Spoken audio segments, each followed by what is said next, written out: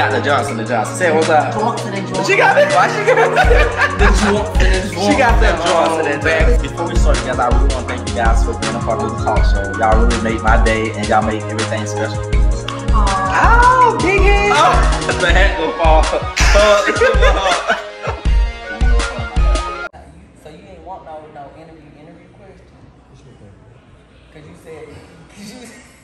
Way you said that, way I said that one part where, you, where I was like, and for people that not familiar with you and you know that, how could you describe yourself? No, you go through with it. Go through with that. That's good. Cause I was about to say, people want some some Listen, fire questions. I can hit them with some fire questions. Listen, he he has his own platform that he runs, so he's a guest on ours. So we go to do the show. Okay, ask for whatever you want to ask him. I was about to say, I had some fire questions, some long questions.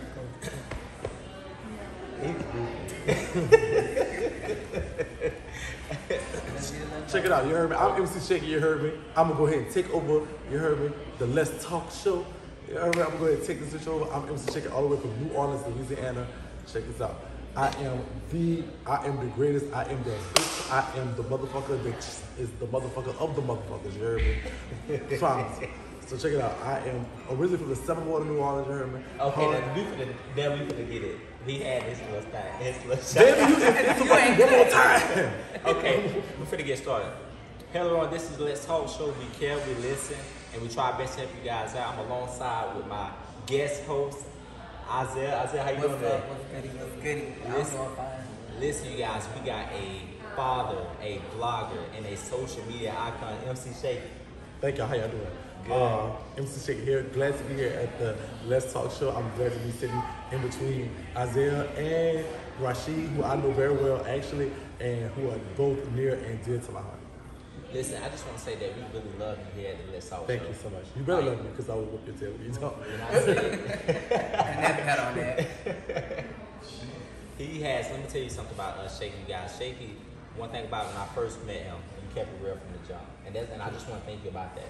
Because also, you know, being a social media influencer as well, it's really hard to meet other social media influencers, and uh, you know they be positive and, and don't mind helping each other up. So I just want to thank you for that. And not only that, I know that you, you know, your passion is helping people in general. I mean, the love that you have for kids, the love that you have for people. So we just want to thank you here at the Let's Talk Show. And I'm gonna pass it to Isaiah. Isaiah, go ahead and get into some things with him. Okay. Yeah, so, she tell us about shaking. What you wait, wait, wait, hold on, hold on, hold on. Stop. I loved how my child. How, am I okay to say Yeah, that you my yeah, son? Okay. so um, in the life, this is my son by the way. He's been my son for two, three years now, and uh, and he's sparrow rotten, but you know that's one thing. He just makes everything he wants for. I gotta give him whatever. It doesn't matter. That's whatever. But um, so I met Isaiah through him actually. So just how my son said so many wonderful, marvelous things about me. It's really your turn to say some wonderful, marvelous things about me. Okay, so like, okay, this from earlier today, from the misconception that, that people had about him. He is a very cool, nice, down to down to earth person. Cause at first I ain't gonna lie, I ain't like him. If y'all wanna be, we being real. Let's get I real. didn't- I didn't like him, but that's just because you know it was the little scramble that we had at the beginning. Cause you know he was protecting his son, you know, coming in for him. Like, hold on, wait. So you just gonna bring, and then he, you know what? he ain't help. me? Nah, that don't that don't mm. cut. You gotta throw him throw him away. Yeah, type of you. I get that. But see, the one then after that, you know, bonds grew through time Yeah. with Shakie. So I was like, you know, ever since I got on the phone, I was like, I was like, I didn't like him still. I was like, uh-uh, because he did me wrong at the beginning type deal. But now he, I, I like him because he, he's cool. He's cool. He's real nice. After I got to speak to him, he, he once I met his nice side, I think everybody everybody have their own mean side when you first meet anybody. They have And their one, little. and one thing that I tell people all the time, you guys, but you guys better be nice to me because if not, I got somebody that can get into your whole life because of me. Okay, Not the life story. get into about your life. All right, so and okay, so I, I I don't I didn't expect you to like that, but I will say this: as you grow into this lifestyle, uh, LGBTQ plus lifestyle, and you develop, see the people, and I want to piggyback what you said. People develop the the, the some. I'm old school. Everybody know. I'm, I'm 38. Uh, I actually make 39 in November, so I'm like, like next month. So I'm like, I'm so sad about that. One more year before I'm before it, but uh, in in the gay life, that's grandma age. I mean, the, the life expectancy for us is very, very, you know, because my gay children have children. Yeah, it's like for real. We don't speak. So it's like you know how people have dog years. There's also a thing called gay years, and so it's very fast. But um, I say that to say, in the era I come in, gay people were not accepted as we are now. Right. Right. And so what happens was we as gay people were cast out from our traditional normal families. And so we went out into the world and discovered other gay people who taught us, brought us into gay life. So that's where the gay familial structure can't come from. Your gay mama, your gay daddy, your drag mama, drag daddy, all these different things that we have. All right, so I, coming from that life and coming from that knowledge, take that so seriously. So when somebody's like, hey, child, you're my child for life, even I'm married with you, you're always going to be whatever. And so that's what it's going to be. And so in the case of that, when you have your gay children, and if you take that seriously, you'll understand why you have to, you have to protect them from the world that want, is against them. We're black, we're gay, that's we're men. So a lot of times, it's a lot of times, there's three strikes against us already that they want us to be against. And Especially being an athlete too, because I had a hard time when I was in college. So like I said, I just want to thank you for just you know riding with me, sticking with me, because I really had a hard time. A lot of you guys don't know that I was a college athlete, and I had a struggle when it was in college because when people start knowing about you, and then especially if they think you look good, you know I'm a king or whatever. So a lot of them think that I guess, and so it's even harder for us because it's like why you like this, you know what I'm saying? I get that question. So you asked that earlier, I was really laughing, so I just said it. It was the, so I ain't gonna put that on but uh, um, it's really just hard being you know a bisexual man for me because a lot of people that are not bisexual and open with the situation. So it's really, um, it was really hard on me. So I just want to thank you for just being there for me. no problem. Yeah, And it's funny that, that you say that because there's a lot of different games. it's a lot. It's a lot of different. You got the crazy, the wilds, the mentally retarded. So you got a lot of them. And you got some educated ones out there. But through time, I'm trying. I've, I've been, you know, I've been listening to all the the constructive criticism from him.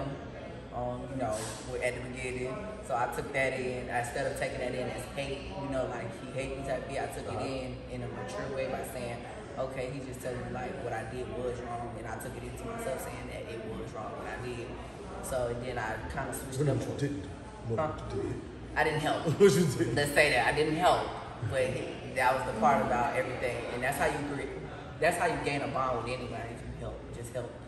But since he told me about that, I, I grew to know that, and then that's when I, for ever since now and on forward, I done been down for this man, like Right. ride or die type gig. Anybody in this room, I'm down for. I'm gonna hit you with my car. It's just that on that. And then she know 20, 2019, whatever. But just know I'm more wise now because of shaking. So you get into the questions then. Let's get into that. Cool. Okay, so what? Um, so the first question is, how would you be able to teach somebody that's an upcoming upcoming influencer like yourself? Like, how would you teach us to become more better in our own crafts? Um, I think that so the the influencer spectrum goes into just understanding the business model, and it depends on what app, and it depends on what you're doing as far as content. Content is king, but I found that I was more successful as an influencer when I just stuck to my guns. Not you know, and it's because I have some I've developed friendships in the industry as well, and so sometimes my job will conflict with the friendships, and so I have to make a decision. And so, uh, for an influencer, I would say stick to your guns. And a lot of times when I make a decision for the friend, it come back up to bite me in the tail instead of me just sticking to my guns and my friend respecting what it is that I do. Uh, And So it's don't, funny- he- so don't hesitate, basically. don't hesitate. If this is what you have and this is what you're talking about and this is your content, stick with it. And, and that's what it is. Stick to your guns because your your bosses are the people that Yeah. viewing your content. So, And it's funny that you say that because we had well, we had a conversation probably about a week and a half ago, and I was like, I really want to take this to the next level. Like, I want to be on TV with it, and I was like, it is so hard because every time everybody always sending me people that I know to talk about, and I'm like, I don't want to talk about them. I don't want to lose that friendship with them. Mm-hmm. And so you gave me some good advice, and I'm glad that you said that and you mentioned that. don't be scared. Yeah, Just take it. Do, do your own thing. Because everybody has a job. We all doing a job, and I'm pretty sure they'll probably want to find something to talk about me about. Right. Everybody has the boss. Don't think for two seconds that as an influencer, as a content creator, as a blogger, as a YouTuber, as a whatever, that you don't have a boss. Your your job becomes somebody you're responsible for. So in the case of the tube or in the case of like one of these apps like Michael, uh, your boss are the people that are paying the bills. Your boss are the people that are pressing the buttons, commenting, sharing it, the people that's doing it, watching it, watching the ads. And getting, these people are your boss. That's your, this is who you answer to. They answer. When, so that's who you gotta always remember. Like your friend's your friend, but is your friend gonna pay your bills? Right. Or is your boss still gonna pay your bills? But people will get the, mis- the misconception of the two things uh, like mixed up. Like you got the part where you want to listen to people's advice, and then you got the part where should I take my own and just go my own route. So it's like that's where I always end up getting stuck at, especially in my own craft, because there's always these people that will come in and be like, do this, do that, and do this. Because but then I sometimes- be like, I got my own way of doing it. And see, that's hard for me too because I sometimes I'll be like, is it trustworthy? Like sometimes I don't trust my instinct, and it's like I second guess myself. So like I know in my head what I want, but I don't go with what I want. You know what I'm saying? So like that's why you take that advice, but sometimes it's not always good to take that advice from other people. So I agree with you on that. to, to, you know, when it's look, at the end of the day, you have to understand what if you take it. You're not gonna take it to the next level uh-huh. if you don't. Whether it's the right decision or wrong decision, because there were some decisions I made that were wrong, and I made mistakes before several times, and uh, I apologize for those mistakes. I, I had, I've owned them, and I've moved on from that. But I will say that when it comes to just this industry in particular, there has to be a, a, a, a, a place that you have to say, this is my go-to place, and I know what to do. And you have to be decisive and stick to that decision. That's what So we know we know a lot about you. Like I said, you're a follower, you're a blogger, you're a social media icon. So when did you take your uh, your social media to the next level? Could you remember like a year? it kind of like it was it was it was there was there's definitely levels to it. Uh, social media for me. I, I- so okay, understand. So um, my thing, my social media story happens like this.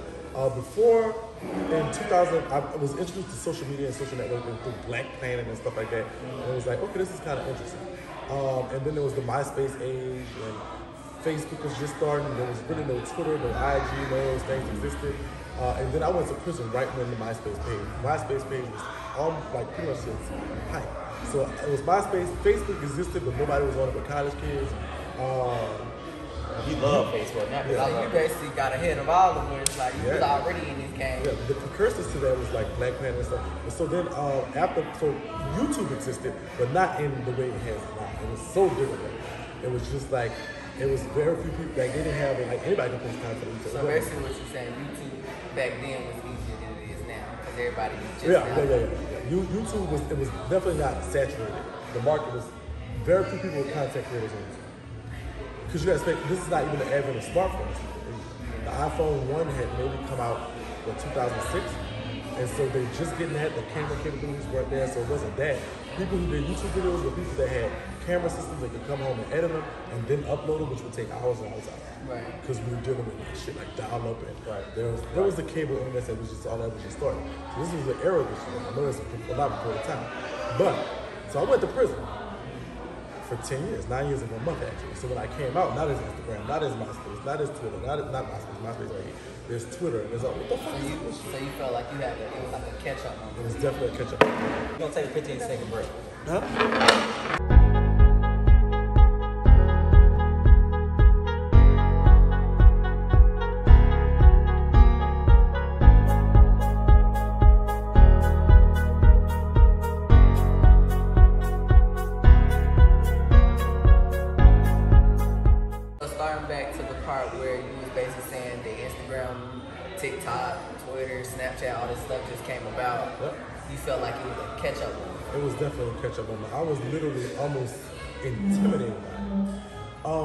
Always the person that knows how to kind of look at stuff for what it is, but like, how do you make money here? What are we doing here? And so uh, my friend uh, actually that just passed away just put me on live. And we went in Rihanna's live. We went, this was, so I'm like, wait. Because understand, the live streaming thing I had not got. I never, there was never that. We never had that. Uh, and so my first time live streaming, we went to Rihanna's live and she was doing something. And it was like, yeah, you could talk to her too. I'm know you can't. It's like, yes, you could type something. I typed something. She didn't pay attention to it. But, uh, you know, it was just like, but she was engaging with, her, with, with the fans. And I'm like, this is the future of life. Nothing beats this. I don't have to be guarded by a, a, a movie or a show or anything. Like, the only thing I have to do is talk. There's no, there's no middleman between me and whatever my favorite celebrity. That was amazing to me. And I said, this is where I'm going, this is where I'm going to live, this is this is going. And so when I ma- made my Instagram page, I named myself MC Shakie Live because I knew I would post a lot. So I made, named myself MC Shakie Live. Um, and then I kind of started New Orleans blogging and stuff like that, but it's kind of like I'm doing a live stream. So it kind of gave a local New Orleans shade room with a face to it. Uh, a story came across my desk about Super Scent, and that was the first time any story of mine ever hit shade room, and I was like, whoa, I'm really a blogger. Um, then there was the second time, the second big story I had was about Da Brat and Judy and me. I was the one who uh, basically uh, brought for broke the story about their relationship. That got posted on the room. And uh, this was the first time they actually tagged me in the post and left my ex in the. So when, Yeah. so. So they was able to come come so, basically- so uh, I watched from those situations kind of grow from a local New Orleans 10, 15,000 people to 50,000 people that were following on IG. And then when the shade thing hit with the thing from uh, Judy, it was like almost 100,000 overnight. And then, because that video is still up on, on their page, and it still has like, it's something like 5 million views right now. It broke the bracket and Judy And then, uh, kind of where I am now came from a mixture of uh, Kiki Y, Erica Mena, um, those were big stories for me. And uh, then I, when we did the show, we did the pilot for a show for Tiny Chicano, and they had a little situation where um, the shade room reposted a video of Shamar rapping, and I was dancing, and were like, who is that? And the thing, and a lot of people tagging me. Like Harper. Shamar, Shamar, Shamar. and that's still in the shade. and so, uh, so I kind of made the shade room three times in different eras, and I can honestly say for me, those were like I could say these are key points in my in, in my blogging. So that was the growth. Like that was the, the yeah. What would you tell other people that want to be an influencer? Um, be consistent. Be opinionated. Uh, for every topic, have an opinion on. Stand on your opinion. Uh, be, be well versed, well read. Don't don't shy away from knowing something. To be a good influencer is to me someone who is a good nosy person. no, no, no, I'm trying to say a better way, but if You you gotta know the stuff to talk about. yeah, yeah, you gotta know. So if you're not nosy and you don't like looking at stuff and being interested in stuff, you're not gonna be good. Because this is, yeah, this is what we're coming for you to do. People can make up their own minds, but an influencer is just that. I'm supposed to influence you with what I'm talking about, about how this story is. There's 10 ways to look at something. And so you're, as an influencer, you're, that's what they're paying you for. They're paying you for your take on this. How is this? So that you can influence their decision whether they agree with it or not. I'm not telling you when you're interviewing, it's their job, it's, it's your job to ask a question, but it's their job to develop an opinion about it. Right. You know what I'm saying? So when it comes to influencing, you're influencing that opinion. That's where it comes from. And so, uh, so be opinionated. If you say if you say this that is blue and I say it's teal, I'm I say teal. I'm gonna roll with teal. And you stick it. You say why? I'm gonna say why it's teal. You say no, this is blue because. So, so since we are still on the topic of apps and stuff like that, and your growth on like apps, so what was your biggest money making of all apps? Y'all say? Um, in a, okay, so I started a cosmetic line um, in 2020. That's something new. Cosmetics. Cosmetics. Yeah, I started cosmetic line and, and, and, and whatever. And I've grossed uh, nearly two hundred thousand dollars worth of sales. Um, so I directly correlate that to Instagram success. So while while be it, I have never made the most money off of Instagram in that sense. I made the had I not had the Instagram influence, I could not have made those sales. So so I attribute that to Instagram. So technically, Instagram made me the most money. The second most would be the big one. Uh, I probably made maybe a hundred thousand dollars off the big this, and that's clear. Um, but third most would be kind of like YouTube. YouTube is a consistent check. It ain't as big as like it is consistent. So you crossed over to Bigo. How did how did you how did you grow it so big? Did you did you you know bring everybody over? Because you got on Bigo and you like you know start moving over there. Well, uh, um, I um, so how that worked for me was I, I went I went at first I hated it. I was like I don't even understand it. Um, uh, I, but then I started monetary value. And I said okay, I can understand this. And so I took about a month and I went on the burn page and I just kind of looked about food we was given, learned who was doing what. So I'm on with. I, I had I've studied. I studied the people. I studied what it was. I go in there. I give it. I give it an hour or so. They just figure out what this is about. What works? Why these people do this? Why these people do that? Um, there was still I, I needed to learn when I did get on there. I went on there, I already kind of felt like I had to do my homework on them. Uh-huh. They had not done their homework on me. I had done my homework on them. Right. They had not done their homework. So it was no. It was part of being a good blogger. yeah, it was it was easy. Like you you playing with somebody that doesn't even they have to play catch up. So when I'm jumping up here and I'm fussing with you and you saying this, and it's like how do you know this? And you don't know nothing. about it, You have to look it up and come back later. It's over. with. The the the the, the scape of social media is of the not. It's instant. It's either here. If it's here, now, what's, what's, what's popping today, next week it's gonna be somebody else gonna be talking about. It's just gonna be it's, it's, it's where you at right now type of thing. And so with that being said, it's like for me, um, just kind of trying to be a, a step ahead of the game was going to So changing over topics, we know we understand that you are a great MC. So tell us how did you get into that? Um, I'm the greatest MC. But uh, The greatest, he said. Shaq and make them. yeah. Um, bounce was my first love. New Orleans bounce was my first love. I had I have been involved and engrossed in New Orleans bounce since uh, I can remember. Actually, to be honest with you, uh, my uncle's a bounce artist by the name of Ricky. Um, and he's a family thing, huh? yeah. It's well, we, were- I It think runs in the room. music does run it out. I got something I'm gonna drop to this. So I guess it runs in the family. Um, and he, he was he's a rapper, came out with a song, and it was popular, and I was like, oh my god, I love this. And I, I think it was it was for me for something. He used to do our local parties and uh, DJs and stuff like that. And one time, I uh, remember my uncle just getting on the mic, and it was like it was like power or something. So, because uh, he's a part of the song that goes, I'm, I'm that St. Bernard is on the map. And so I'm hearing the crowd going, and they don't play. And it was just like, It's the hype. It's like the energy. It's the I'm- energy that you get off that. what is happening here? And it's like, I was like, I gotta do this. I don't know what this is, but I need to do it. And so it kind of became my first love. Um, so I started actually dancing. I started out dancing. And I was still scared to get on the mic for years. Started out dancing. Um, as a dancer, I kind of evolved and got older. So when you get older, start getting a in the wings and stuff like that. So it's like, okay, dancing is not for me. Um, that evolved me into DJing. So I learned how to DJ, but then I realized I don't like to stand still. And then that, so I'm trying to avoid the mic for some reason. I was avoiding it because I was like, this is not what I do. And So so, you avoided that because you, you more on the blogging side. no, no, I, I avoided it then because I was scared. I was I was going into it. I knew I wanted to do something, but I didn't know what it was. I started doing DJing, I worked with myself, producing, promoting, those things where I was marginally successful at. Um, but it was uh, R.I.P. Rest in Peace Blazer, aka Daryl Ware, who actually said, "Listen, I need you MC. Here's the mic. Do something because these people are bored." And I was wasn't able. I, I didn't put it out. It was in my hand, and uh, so MC Shakie just kind of grew into that. And I encompassed the other things that I had learned along the way, trying to find MC.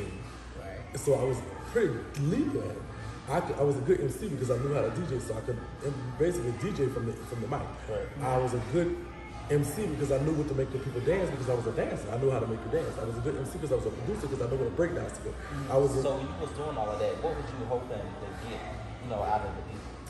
um, you just trying to make people days, the energy. energy. It's it's just energy. Bounce music is that. It's energy. It's a feeling. You can't. It as runs much- through your body. I have tried to show this to people my entire life, and they don't get it. But as soon as I bring them to New Orleans and put them in the club, in the little club in the project, and it's hot in there, they got one air conditioner, one bathroom, and they ain't got nothing. To, they got I know everybody everybody in there sweating buckshots, but guess what? They're not gonna leave that dance floor, and you feel that tremendous amount of transformative energy. They get it after that, and it's like okay, because they, I couldn't, I couldn't know how to explain it. Why are you here? The, the, you're holding the wall, and somebody probably out there for to shoot somebody and everything. All this is going on, but you're not gonna move because that beat is controlling you mm-hmm. me on the mic telling you bend over is controlling you. It's not it's not nothing you can do. And so it's like, and for me, it was definitely, definitely, definitely, definitely a a thing where I was in love with it from day one. I have been in love with it ever since. I'm gonna probably be in love with it for the rest of my life. So, what's one of your lines? What's one of your, you know? My tagline is MC Shakie make the hoes go crazy. That is my definite tagline. uh, but I might say anything that might you might hear me say a little bit of it is a lot. And when I'm in that mode, I'm in that mode. So like, what would you say? in, Like, New- like is New Orleans like the type of place where like do people get like, is it a gay like down there? Is they accepting to the gays? Very much or- Okay, I was gonna say you, where you can't go, you can't. New Orleans is Da, da, da. no, New Orleans is a very progressive city. Uh, we don't even have like in the gay clubs there's straight people. In the straight club there are gay people. Nobody cares. Like I, I didn't see As it. it should be. It should be like that. And, and I, I don't I didn't even feel our segregation until I left New Orleans. I'm like, wait, wait a minute, you know. And so um, New Orleans is very accepting of the LGBTQ plus community. Actually, uh, one of the biggest artists out of New Orleans is Big Freedia, and Big Freedia, as you know, is yeah. So it's, New Orleans got to be because of who holding our stick down a dude named Freedia with a wig, a dude named Frederick with a rig on, you know, and that's what it is. You So know? what sets all of y'all apart from each other? Like, cause, er- cause you do got some people that might be out there be like, they all sound the same. So what sets y'all apart from each It's the personality. personality? we all have different personalities. We, and, believe it, it sounds the same to y'all, but it sounds so different to us. Right. And so when we do something, it, it feels like for New Orleans Bounce, it's like they feel as if the they get a different feeling from me than they do from Freedom, and they get a different feeling from Freedom than they do from Logan. They get a different feeling from Logan than they do uh, High Sizzle from whoever. I, don't know. I, never, I never even heard of that person. They, who is that? Is Keno from Orleans or no? No. He's not. Oh, he just so y'all hate do y'all? Okay, so that's a good question. I just said that.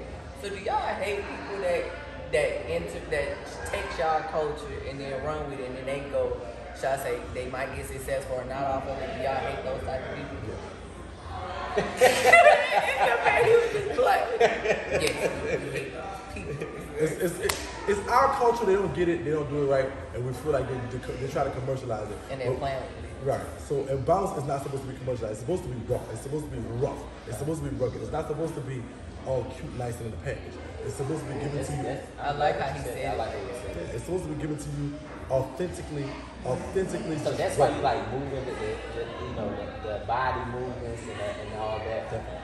Okay. There, I mean, you do have some time, sometimes where you got some people, like I do hear the aggression in like New Orleans music versus somebody that's not from New Orleans. Because I, now that I'm hearing it, that when he said that, I just noticed that. Because when you hear like a New Orleans, like Big Freedia, for example, you hear the aggression. You hear her like trying to take over with that, with the mouth movement, the brrr, like all that. Love it. Then you got like, you might got like Kino. It feels like it's hard, like trying to be like playful with, it, like just trying to play with it versus the, the aggression. So, you know, we all know that you have a big line in the Silk Nation. Can you tell us a little bit about Silk Nation and who they are to you? Yeah. Uh, we were sitting out one day. We were. I used to have a show in New Orleans called The Tea at Three. Uh, it was an Instagram live show. We used to do it every day. It was on, on IG. It was. It was the message show in New Orleans, and uh, it was. It was. It was that show. They was looking for it. If I didn't do it one day, I, I was. I was getting all kinds of DMs. Bitch, you better come live. Bitch, we want. You know, whatever, whatever. So the Tea at Three. Uh, became my little show in New Orleans on IG Live, and uh, what did they want? They asked what what did they want to? They said, "Shit, we gotta give us the name. We want a name." I was like, "What you mean, like the Beehive or something like that?" I said, "Well, y'all think of it. I don't know, but I don't mind." And they came up with uh, the sippers because they were sipping the tea that I was serving. Correct. Um, and so that's kind of like, and it stuck. But so when I tried to, so I tried to um, trademark copyright uh, Sipper, but I couldn't because of course it didn't. So I had to find something else. So I, I was listening to uh, Dish Nation, Pop Nation, one of those things, Live Nation. I was like, okay, makes some sense. The Sippers, the Sippers of Sip Nation. And so that's kind of like where that came from. That, So, what, where does the green come from? Okay, so the first time I got posted to the Shagan as far as the story I was telling was about Super Green. So it kind of became my signature. Who is this green haired person, whatever, whatever that's talking about Super and bringing service? All right, MC Shakie, we want to thank you for being on here, you guys. Like I said, this is MC Shakie. He's a father, a blogger, and a social media icon. So we just want to thank you for being on our show today.